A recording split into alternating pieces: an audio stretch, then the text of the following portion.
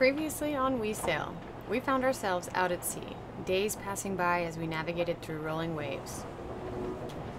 Uncertain if we were making any progress or just adding more miles.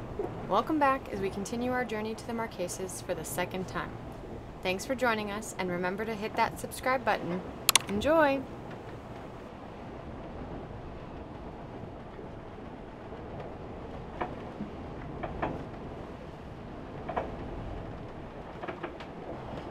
Woo! We are starting to see the light at the end of the tunnel. And uh, it's a rough morning.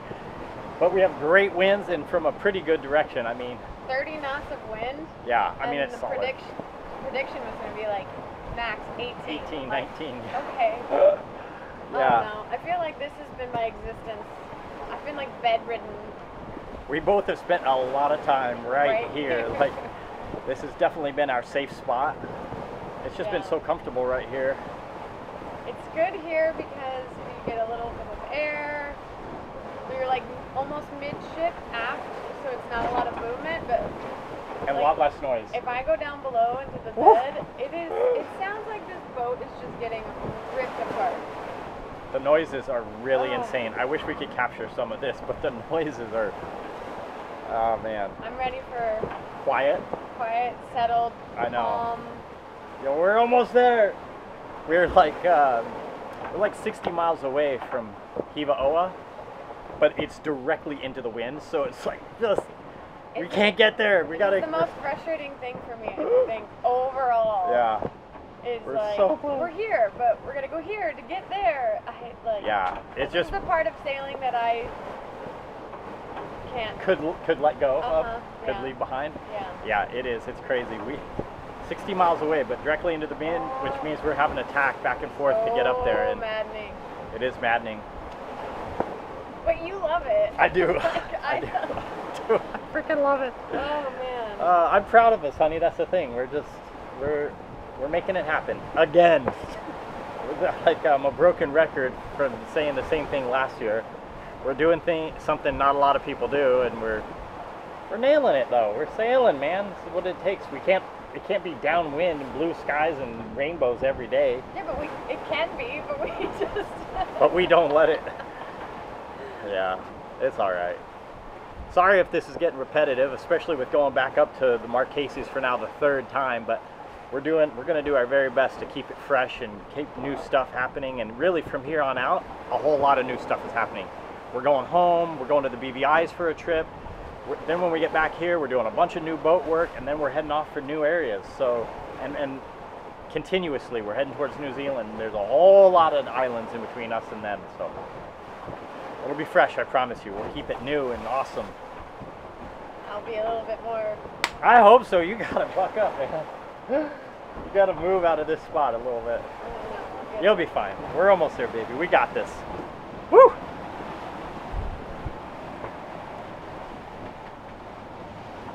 Okay. This might get a little awkward, but I just have to like show you how challenging it is to go to the bathroom sometimes. Um, it's a lot of movement, and our head is near the bow of the boat. So, yeah, you gotta hang on. So, excuse me.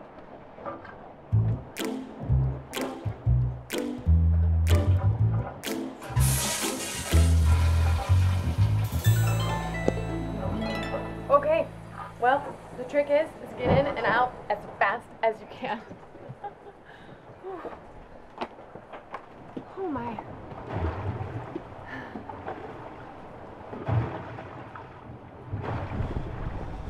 Well, part of, in my opinion, part of what makes a good captain is being able to keep his boat in really good order. I think it's part of good seamanship, honestly, is to keep your boat in good working order. And uh, so we're constantly watching for things that might fail or in, in jeopardy, any sort of issues that might be coming up. Obviously, that goes without saying, I think. And I, you know, sometimes we can catch them and sometimes we can't. Like the jib sheet block that broke the other day, I didn't catch that. And there's nothing I really could have done, even if I did catch that it had cracks in it. Um, so I have found something. I'll show. Oh God. Okay. This blue line here is my second reef line.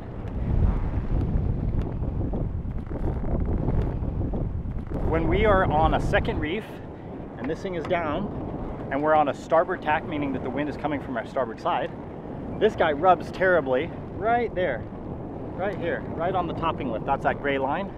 It rubs terribly there and uh, no good. So what I'm gonna do, the only thing I can come up with, I don't like the way it's mounted. This topping lift has to get changed. And actually, I know that this is how it was done on my old boat, so that's how I got this idea. I'm gonna drill holes right here and on the other side. I'm gonna have two mounting points back here rather than up here where they're in the way of these reef lines. So I'm gonna mount them back here, eliminate all that rubbing altogether. And uh, if that reef line was to give out, man, that'd be real tough to, uh, to fix in a storm at least. We'd have to go down to the third reef. Or if it broke through the topping lift, that also could be really tough because that goes up through the mast and down. That'd be a nightmare. So I'm gonna get on that today and that's just part of owning a boat, you know. I think that's being a good captain. Part of.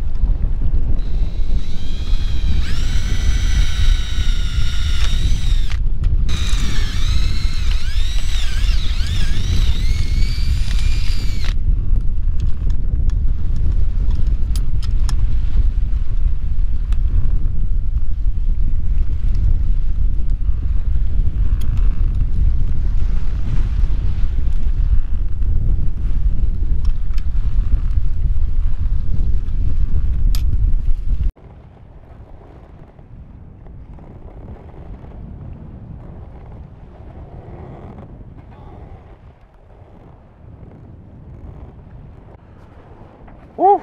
All right, I consider that fixed. Right on, on to the next.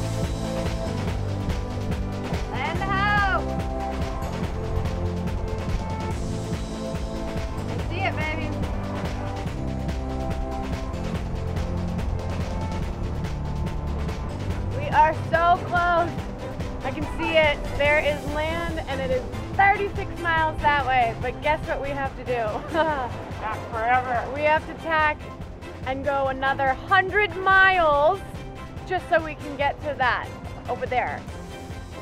Can you see how maddening this is?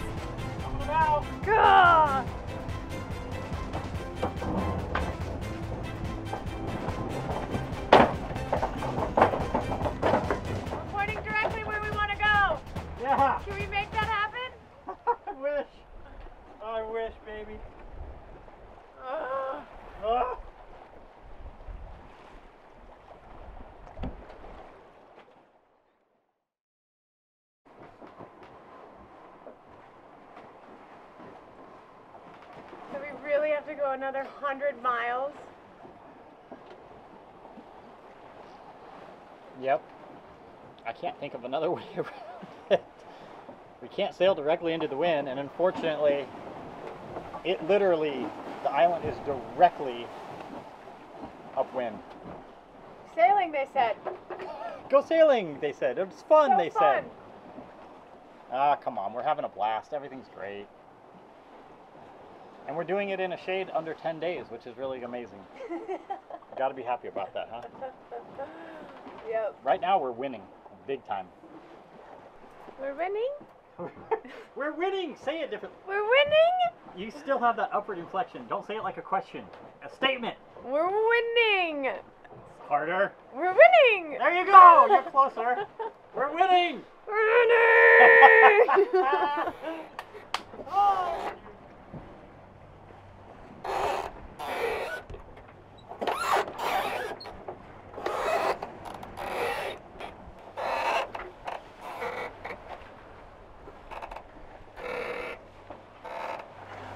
How Want you feeling about everything? I'm, I'm very happy. I am a little bit frustrated that we're within the last, well, the last 24 hours of an otherwise pretty flawless sail, if we're honest. We have sailed a lot of conditions, and the last day we have zero wind, zero zero wind. It's crazy. Hence the uh, The motor. motor Oh, and the this. banging around. Okay. So we are motoring, which I hate, frustrates me, but Oh my god. it would be really tough out here if it wasn't for us motoring. I mean, it's still kind of tough, but we're getting there. We're actually able to move directly towards the island Oh my the, god. What? for the first time in nine days. For the first time in nine days, we are moving directly to where we want to go because there's no wind. yeah, um, I'm pretty excited. It's good to see the side of land, and it's just like the home stretch. And I do know, I know how you feel where it's like a home stretch. You just want to like sail it in, bring Yeah, it in, you bring it know. in. Instead, we're like meh, tail between our legs with the sails kind Yeah. of flopping around, the motors going. Yep. But um, yeah, we're one more day, and then we're day. there. And then what? Party. Really, Warren? You want to party? No, I want to. I want to clean up the boat so bad. Oh, it is Give her a wash bad. down and start taking care of her because she's got some issues. What's going on? We've got uh, both water pumps are sucking air. I don't know what is causing it, but they're both having issues, and I have to like prime the the water system every time. Not every time, but far too often when we start the motors. We're also having a fuel delivery issue, which for sure is related to a bunch of gunk in our tank. And we've taken the our tanks pretty low the last two times we've done this, and uh, we're just we've got we've sucked up a bunch of gunk in there. So I've got to empty the tanks and take the access lid off of there and clean the whole tank out. Not going to be a great job, but that's got to happen, and then uh, clean all the fuel and put it back in. And uh, let's see what else is happening. We drained that battery, that starter battery. For some reason, there's something drawing on it, so I had to jump it today to get it going. Uh, little things like that. I mean, the boat's just collected a, a season's worth of cruising on her, so it's now time to layer up and do some good work. So, your turn. What's exciting? What's frustrating? What's on your mind? And what can you not wait for? I mean, I'm definitely excited to be still again, and I'm excited to clean, this boat. I'm excited to have no noise, no movement. no movement. Um, look, oh my god, I'm gonna go mad. That noise. I am looking forward to going home and spending some time with family and friends. It's been, what, two years since we've been home? yeah. So that'll be nice. Although I truly love it out here, I could spend a lot more time. Um, but yeah, Okay. yeah. Down plan when we get into anchor? Yeah. Go nuts? Yeah. Yeah. Yeah. We have five days. If we get in tomorrow, we have like five or six days To until we party? to clean and organize and pack and then go. And party? Sure, we'll party a little. Just you and me, baby. All right. We can party, just the two of us. Okay. Speaking of which, how's that sundowner drink? You want one? Yes. Let's get one. All right. You make it or I do. You do it. Oh, no. Okay.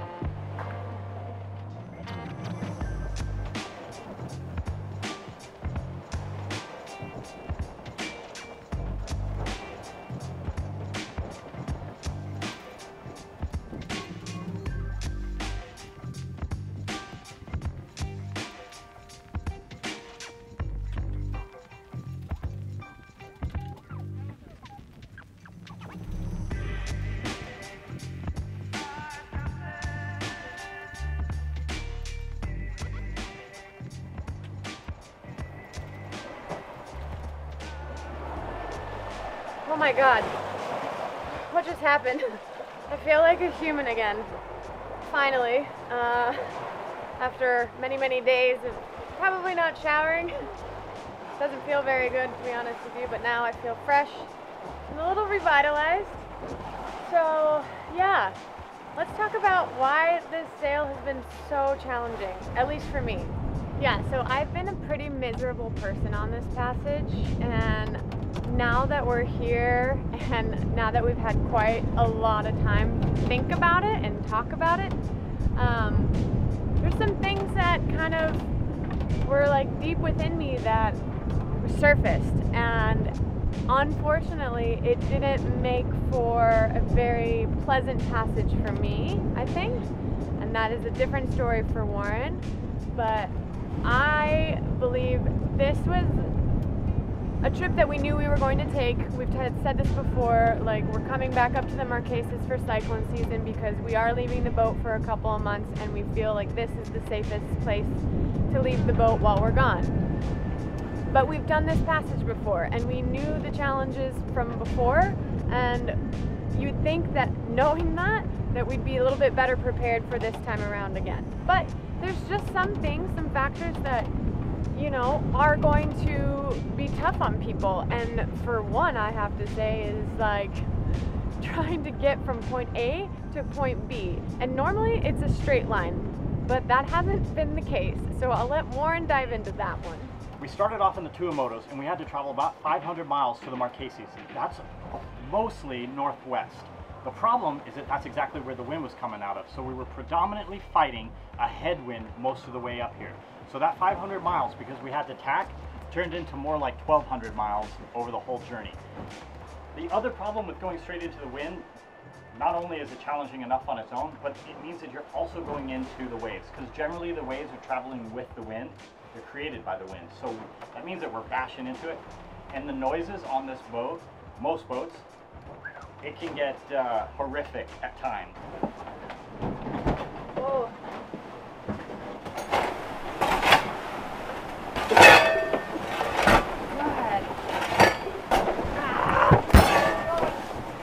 And I know it's quite challenging for some of us to sleep.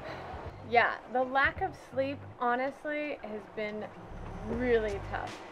Now, also admittedly so, I am not the hero of this passage. Warren is hands down because he ended up taking pretty much all the night watches and then he slept throughout the day. But for me, I have tried to sleep in every possible spot on this boat. I found that maybe if I slept up here, the noises would be significantly less. And then down below, I just, every time I laid my head down and closed my eyes, the bow of the boat would be bashing into the waves and it sounded like this boat was going to rip apart. And so I slept here, I slept outside, I slept down below. Baby, okay? Oh, I'm tired. Just exhausted. Yeah. Okay, well, we got a beautiful day. Okay. We're moving. So rest up, okay? Yeah. Get some sleep. You need anything? Okay, And there was just the lack of sleep is really tough on anybody, for that matter. And we're almost there. I can feel it. So this this is my heaven. This is my spot that I found that uh, I like the best. It, not only is the view great, but really I can just look up here and I can see what the wind's doing. I have a pretty good view of the autopilot and everything. So this has been where I spent most of my time and, and done my, uh, well, all of the night watches actually. And uh, I have a nice breeze coming in, so this has been definitely my sweet spot. Also, aside, from the, uh, the noise of the water, which I quite enjoy actually, a lot of the boat noises um, don't exist here. The slapping of the hull and all the blocks and pulleys that are making all the noise.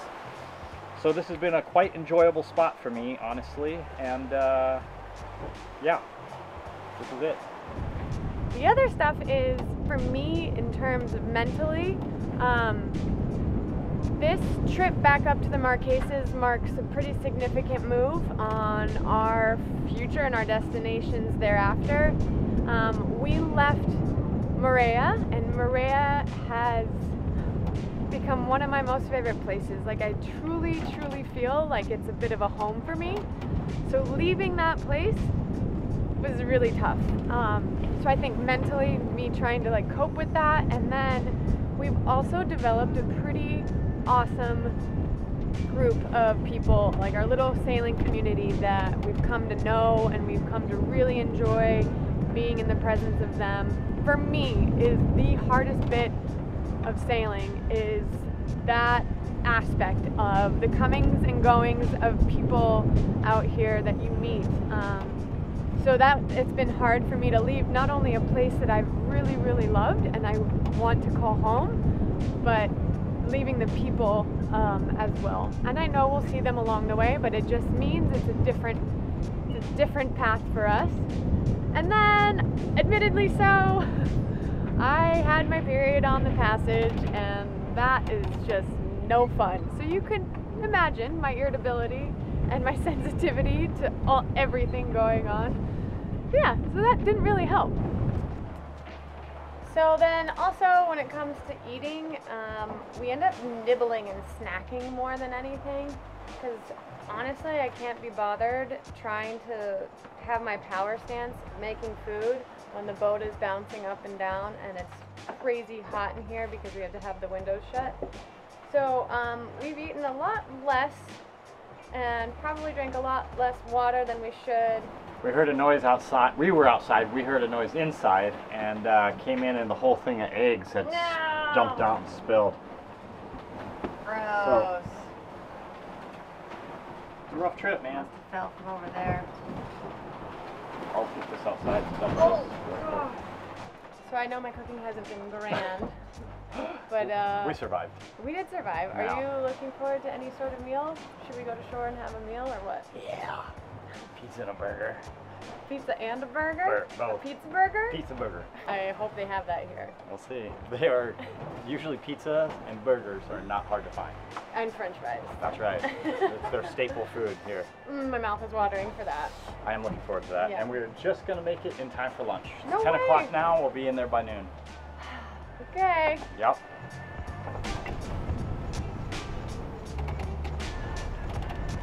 Are we good? Yeah, we're good. You sure? Well, we're to land now, so yeah, everything gets washed away. So out all at, grievances yeah. go away. Out at sea, when it's just the two of us and we don't have Starlink or have any motivation to do pretty much anything else, there's a lot of time to think.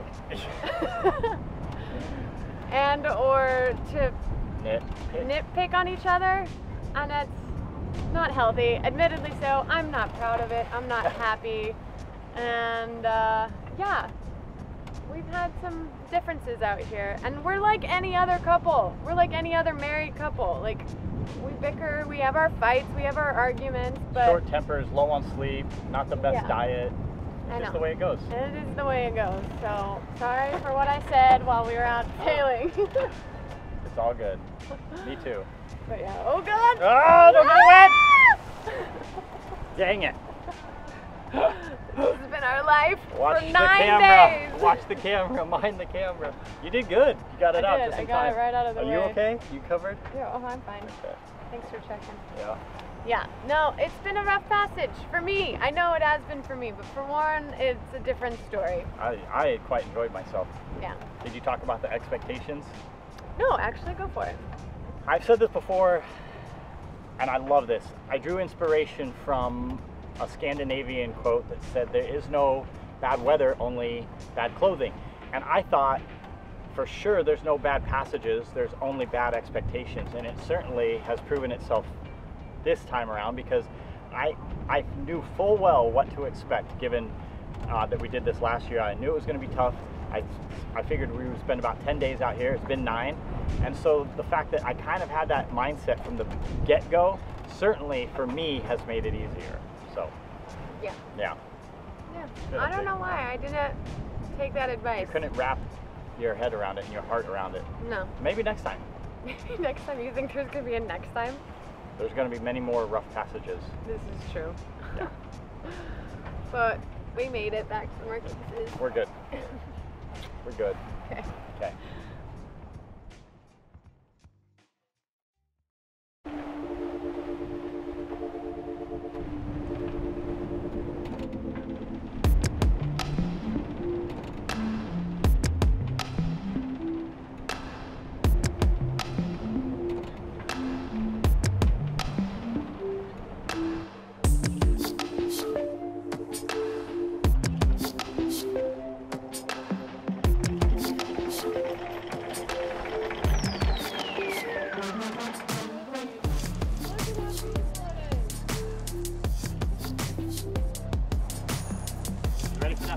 For